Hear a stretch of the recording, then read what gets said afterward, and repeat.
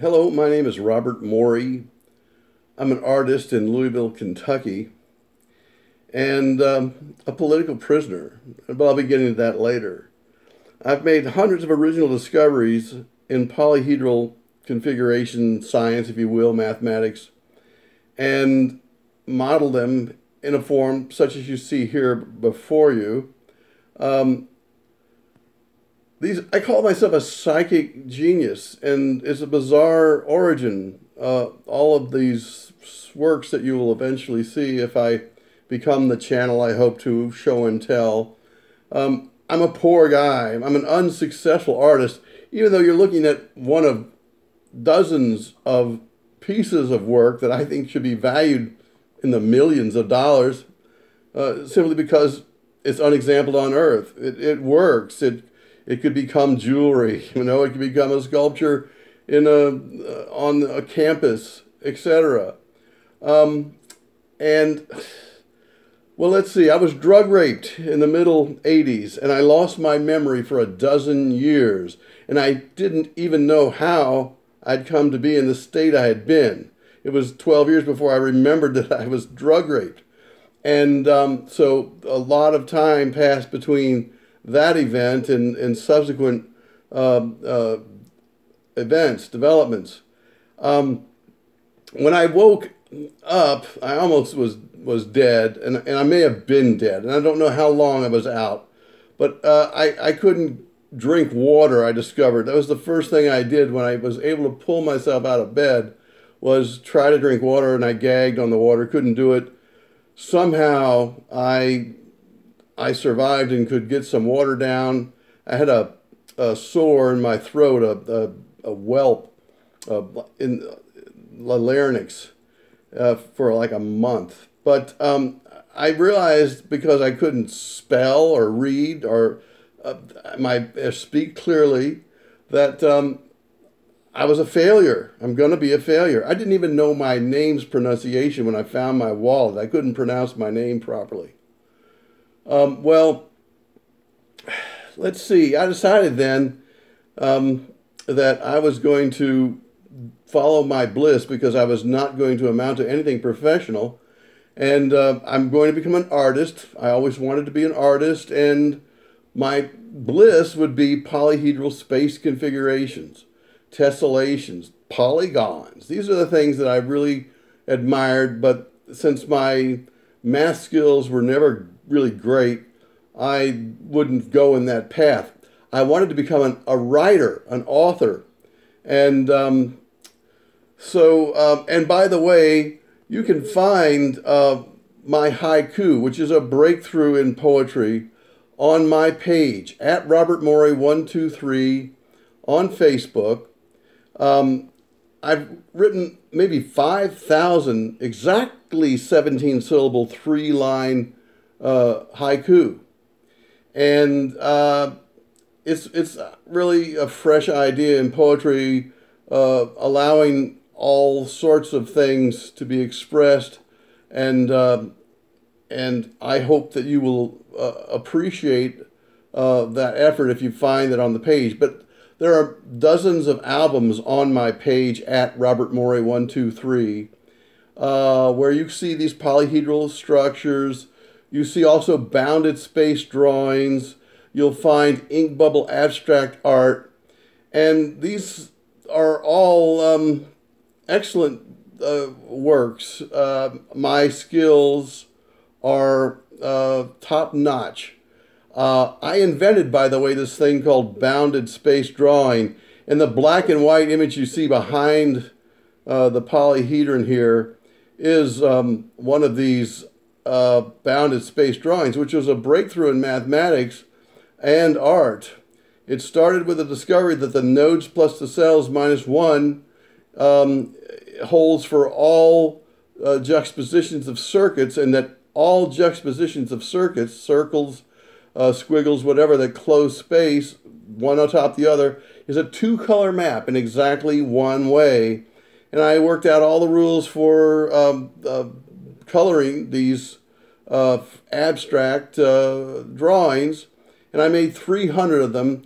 Uh, they're eight and a half uh, by 11 uh, on cardstock, 40 pound, and um, uh, 2,500 hours of my life went into the bounded space drawing effort.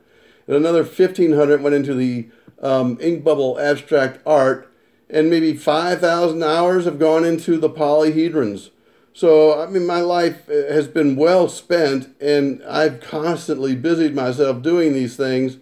Um, so, now, this object in front of you um, is a, a, cellularization. There are five cells um, that are identical that unite to make this pentagonal starry uh, event. And this uh, uh, is also a cell. So, five subcells make the big cell. 12 more of them would fit together in a great big polyhedron that would be like 10 foot in diameter. Um, and these edges are one inch. Taking that out of the way, and also I want to show you that, you know, this is another way it sits on its, on its side. You can sit on its side. And we'll just take that out of the way. And I'll have many of these to share with you in the future, many more of them. Um, but right now I want to talk about um, this big metal dinosaur tooth looking thing here in the center that you can see is metallic because it's got that uh, magnet stuck to the top, that telescoping magnet. And um, it's a really rare uh, uh, creation uh, in the world. And I'm wondering if anyone else can find one because I saw it happen. And so uh, we'll be able to decide that this is a recurring phenomenon. Uh, but I lived around Frankfort Avenue around 2001 um, in these apartments on Frankfort Avenue um, next to um, the, the funeral home and near the Walgreens. And there was a train traveling by. It had uh, a bunch of metal scraps in it. It was an open car. And, and some of these metal scraps had, uh, had become uh, they, they went over the back of the car and under the wheel so that a sort of conveyor belt had been established. And these metal strips were being sucked uh, uh under the, uh, the car, and the wheel had become red hot and was glowing red hot. And this, this was forming behind the wheel and it fell off. So um, the next day I went and I, and I picked it up I'd like to show you the underside of it, but it's 20 pounds, and the underside is, is, is soft uh, and shows the impression of the metal uh, uh, wheel. Now, these objects in front are even more miraculous related to uh, the railroad. Um, they are fulgurites of railroad spikes. And I saw this happen too. I'm a witness of bizarre events, and I am a psychic genius who has been channeling all kinds of new math knowledge when he has like no uh, business doing so, no precedent for it, no uh, there was no way to anticipate or expect anything like this from me. Well, anyway, uh, let's look at one of these railroad spikes. Um, now you can see there's the flat side. That indention was the top of the railroad spike and um, it's been turned inside out, and it's it's no longer magnetic. It was a, a little bit magnetic, but no longer. Uh, and it's totally crystalline, and I think it's uh, industrial diamonds. I could just cut the glass with the with one of these edges right there, and um, can we can we get in here close and maybe see some of this?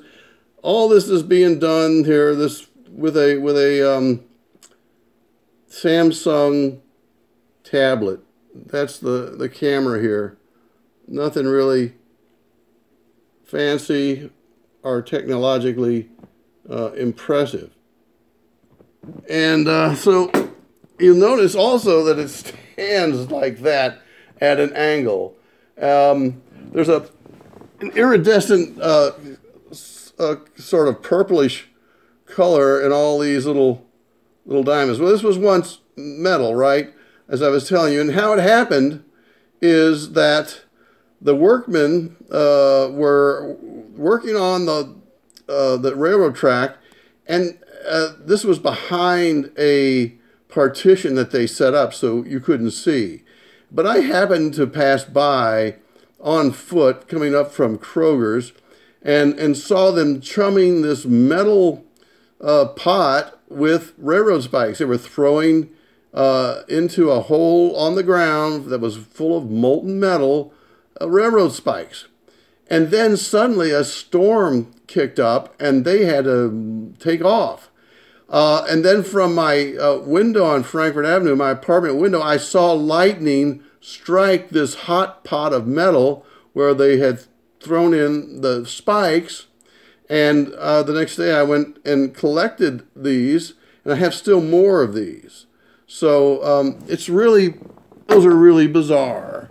Um, now, talk about crazy, crazy, crazy. There's this.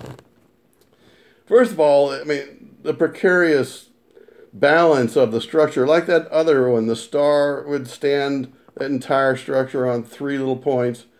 This uh, structure, totally tetrahedral, is standing on edges, three edges of tetrahedrons, the edges. Um, as now, the most important discovery, perhaps uh, that I have made, and perhaps that has ever been made, is this pentagonal configuration of 40 tetrahedrons that make the head of this little man thing, okay? I'm saying that this is the first of an infinite series of concatenations of polyhedrons, this case tetrahedrons, and um, this is the n equals 1, and it's 40 tetrahedrons. So if you're really skilled, you can go now and put 40 tetrahedrons together to make this pentagonal configuration. It's also expandable infinitely uh, with the intercalation of a certain amount of, of additional tetrahedrons. Well, um, there's a one-to-one -one correspondence between the natural numbers, the counting numbers, and these configurations so that there is a unique configuration for every number, and every configuration is unique and different, like the numbers themselves. Um, and I will share, I found, for example, uh, uh, that um, one of these configurations, I think it's my n equals um, uh, 4, uh, which has 100 uh, tetrahedrons, that it's stackable. That the this ring of 100 tetrahedrons, um, which um, is a little bit decagonal in its uh, orientation or aspect. It's stackable. It, it presents five flat um, uh, equilateral triangles front and back so that you can stack them and rotate them and all this stuff. Um, it's a huge idea, I mean, but I'm telling you, it, it, I've made the first eight of these, n through n1 through 8, and you know I only have infinity to go now, right? Um, now the structure in the, the, the in the very back here, you see this black and white image, that picture there. It's, it's boxed by me. It's one of my bounded space drawings. And um, it's um, uh, laminated and I've got it in this frame. And, and uh, I don't have a lot of time left to, to well, on this video, so I'm going to have to cut it short. You have to go to Robert Morri, at Robert Morri123, and see the bounded space drawings. I'm going to have to leave this now and come back to the rest of this to talk because I now see I've got 14 minutes past and I just don't have more time or energy for that. So I'll bid you adieu and we'll get back to this next time. Thanks. Bye.